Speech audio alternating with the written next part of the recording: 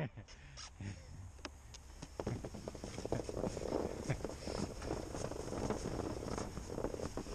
are we doing?